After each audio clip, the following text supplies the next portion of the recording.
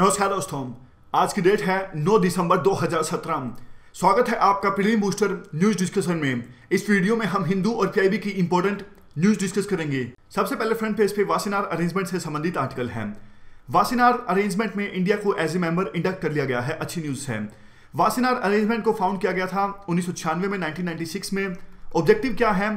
Conventional arms के export को regulate करता है वासिनार अरेंजमेंट या फिर ड्यूल यूज़ गुड्स या फिर सर्विसेज़ मतलब कि वो सामान या फिर टेक्नोलॉजी जो दोनों कामों के लिए यूज़ हो सकता है, हथियार बनाने के लिए भी और डेवलपमेंट वाली एक्टिविटीज़ के लिए भी, जैसे कि बिजली पैदा करना।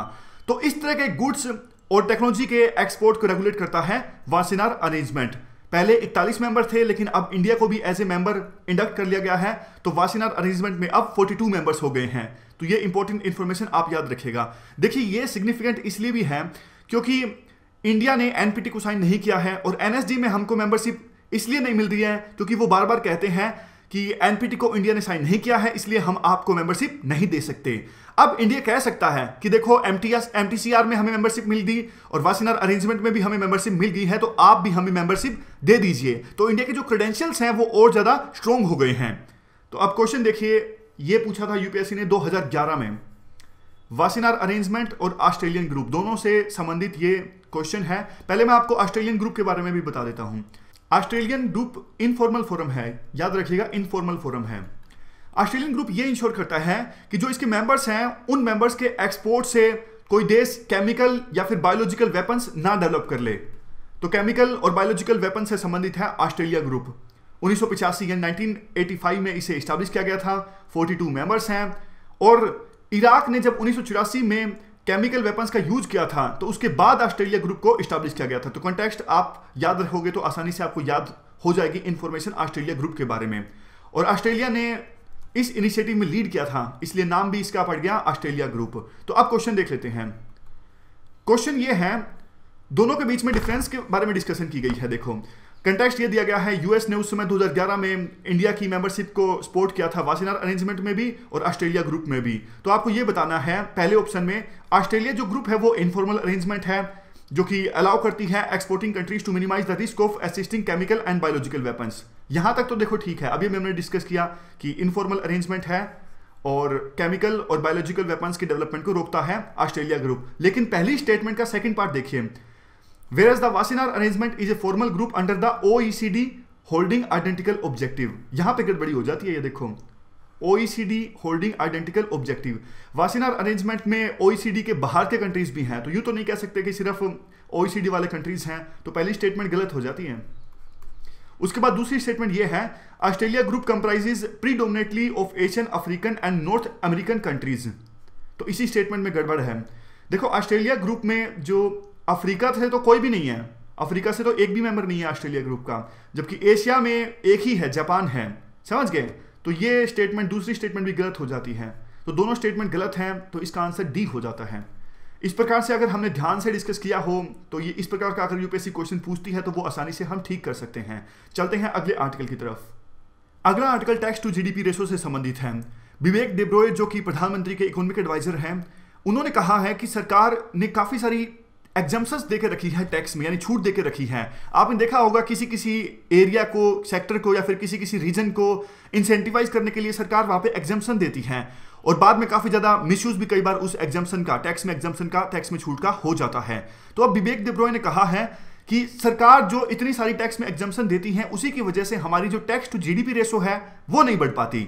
अगर सरकार अपनी सारी एग्जाम्पन्स को खत्म कर दे तो हमारी tax to GDP ratio 22 percent के आसपास हो जाएगी। अभी पाँच परसेंट जो टैक्स रेवेन्यू है जीडीपी का, वो एग्जाम्सन में लॉस हो जाता है उसका। तो एक बार देखो आप ये मैप देखिए। कई बार ना यूपीएससी इस प्रकार से क्वेश्चन पूछती है कि टैक्स टू जीडीपी रेशो है, पिछले दस सालों में लगातार बढ़ी है, लगातार घटी है।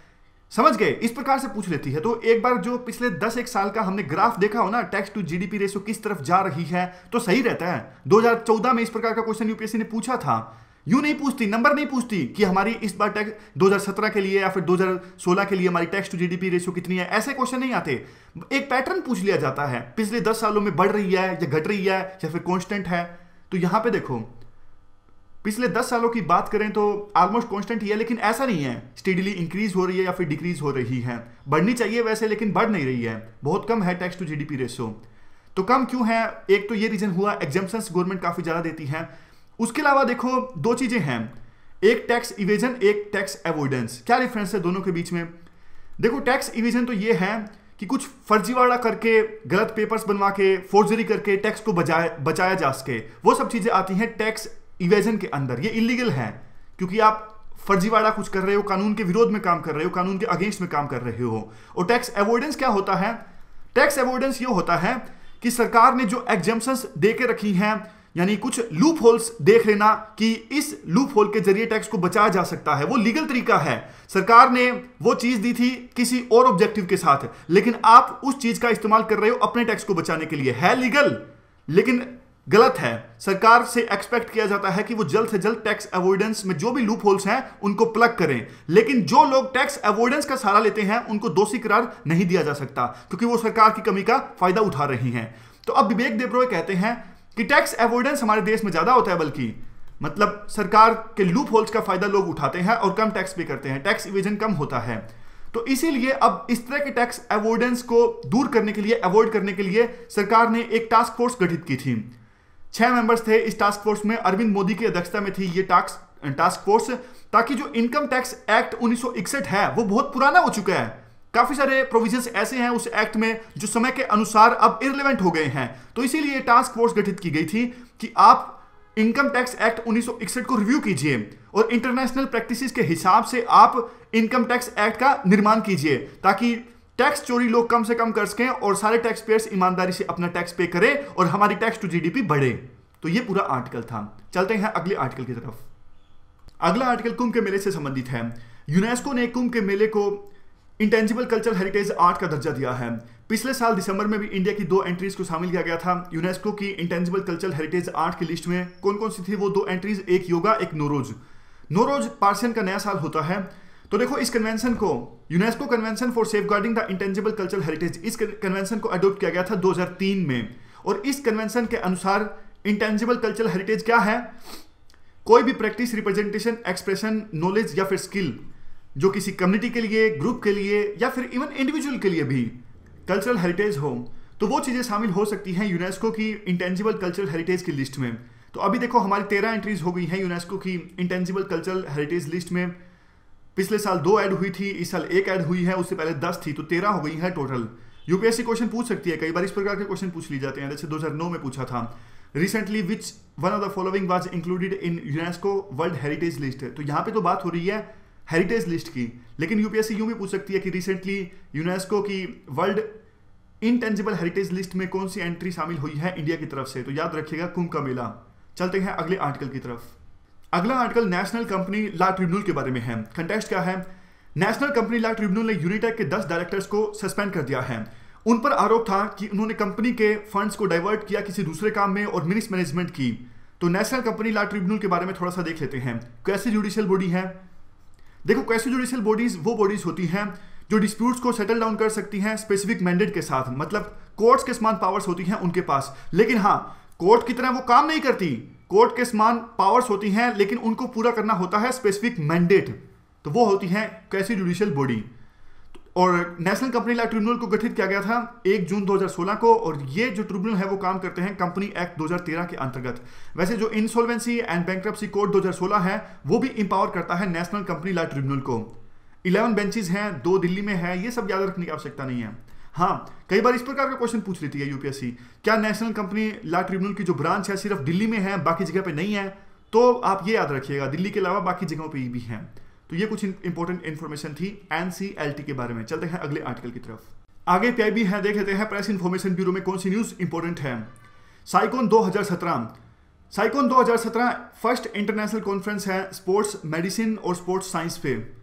दिल्ली में ऑर्गेनाइज हो रही है और sports authority of India organize कर रहा है साइकोन को। तीन दिन की कॉन्फ्रेंस है, जिसमें विभिन्न देशों से हज़ार से ज़्यादा नेशनल और इंटरनेशनल डेलीगेट्स पार्टिसिपेट करेंगे। मकसद क्या है? मकसद है साइंटिफिक टेम्परामेंट को प्रमोट करना।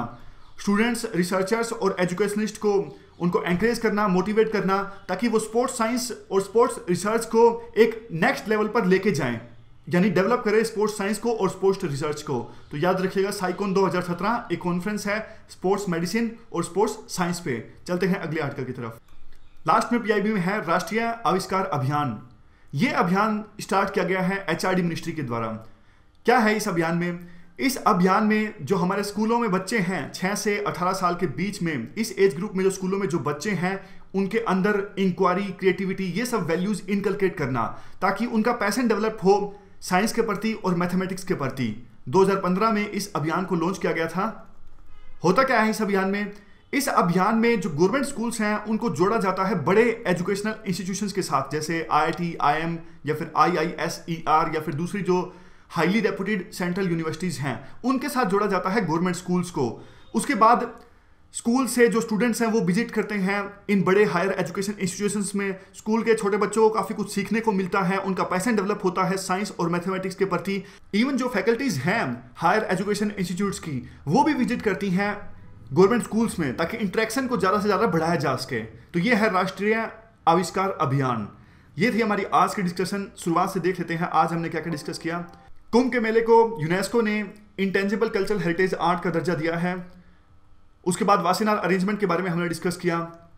हमने डिस्कस किया ऑस्ट्रेलियन ग्रुप के बारे में और टैक्स टू जीडीपी रेशो के बारे में हमने डिटेल से जाना, किस प्रकार से टैक्स इवेजन और टैक्स अवॉइडेंस के बीच में डिफरेंस क्या होता है और लोग कैसे टैक्स को अवॉइड करते हैं एग्ज़ाम्स का मिस करके। आईटी टास्क फोर्स जो गठित की गई है, छह सदस्यों की, अरविंद मोदी की अध्यक्षता में, इसके बारे में भी हमने डिस्कस किया। उसके बाद नेशनल कंपनी लॉ ट्रिब्यूनल के बारे में हमने जाना। पीआईबी में हमने साइकोन को डिस्कस किया, जो कि एक इंटरनेशनल कॉन्फ्रेंस है स्पोर्ट्स मेडिसिन और स्पोर्ट्स साइंस पे। और सबसे लास्ट में हमने डिस्कस किया राष्ट्रीय आविष्कार अभियान। ये अभियान है छोटे बच्चों में, स्कूलों के बच्चों में साइंस और मैथमेटिक्स के प्रति पैसन डेवलप करने के लिए और इस तरह की वैल्यूज़ इनकलकेट करने के लिए। तो ये थी हमारी आज की डिस्कशन फ़िलहाल इस डिस्कशन में इतना ही। Thank you thank you very much for discussion